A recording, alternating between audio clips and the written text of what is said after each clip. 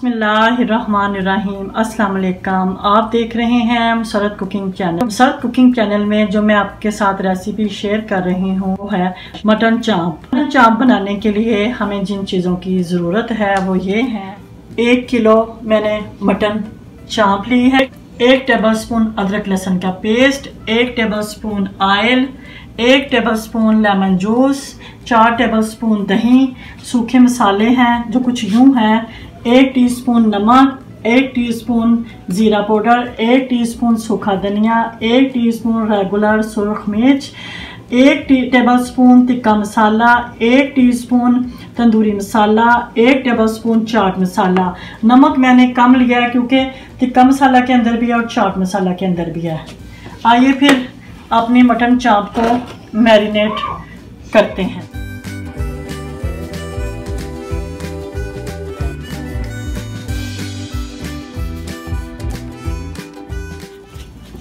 अब मटन चाप को हम अच्छी तरह मैरिनेट कर लेंगे आप मैरिनेट करके फ्रीज़ भी कर सकते हैं। कम से कम आप ईद वाले दिन एक घंटे के लिए ज़रूर मैरिनेट करें।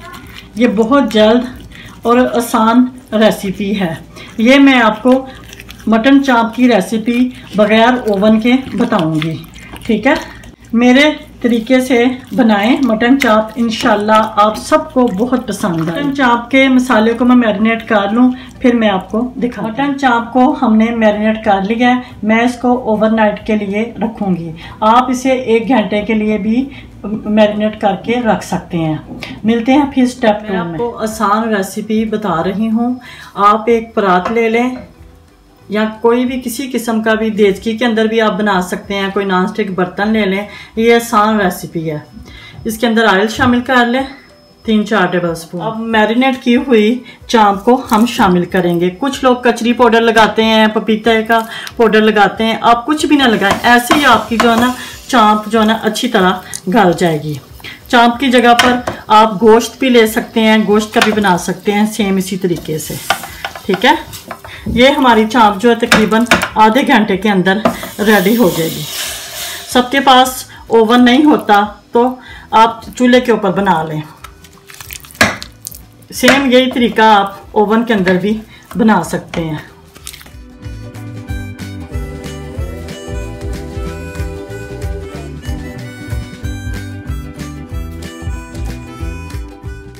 ये जो इसका मैरिनेट किया हुआ पानी है, वो भी साथ ही शामिल कर देंगे।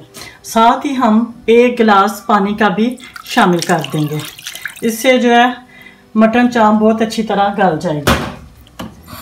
पहले हम चूल्हे की फ्लेम तेज़ करेंगे, फिर उसके बाद हल्की। हल्की फ्लेम के ऊपर तकरीबन हम आधे घंटे के लिए पकाएँगे।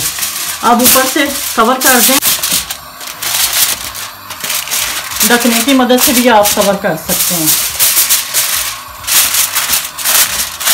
बड़ी इसके ऊपर आप बनाएँ अपने सब बहन भाइयों और फ्रेंड को खिलाएँ। बहुत मज़े की और बहुत टेस्टी बनती है। मिलती हैं फिर हम इन आधे घंटे के बाद। चेक करते हैं मटन चाप को। देखें, पकते हुए पंद्रह मिनट हुए हैं। अब हम इनकी चाप की साइड जो है ना, वो चेंज कर लेंगे।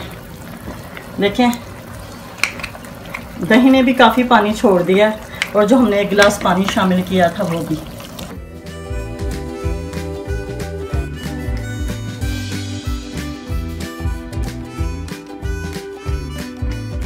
अब मज़ीद हम डाम के 15 मिनट के लिए और पकाएँगे। मिलते हैं फिर पंद्रह मिनट। आपको पकते हुए आधा घंटा हो गया। ये देखें कितनी अच्छी तरह गल गई है।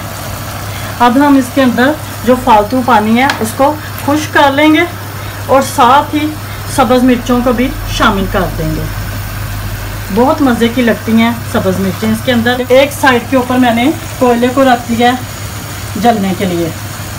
बिल्कुल हमारी मटन चाप ऐसे रोस्ट होंगी जैसे हमने क्यों की है। बस हम इसके अंदर मैं पानी खुशक कर लूँ तो फिर मैं आपको दिखाती हूँ। देखें, हमारी मटन चाप रेडी है। देखें, कितना प्यारा ऊपर गोल्डन कलर आया है। बगैर ओवन के हमारी मटन चाप रोस्ट रेडी है।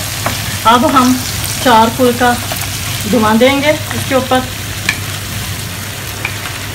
ऐसे करने से तो बिल्कुल बारबेक्यू मटन चाप जो है, हो जाएगी।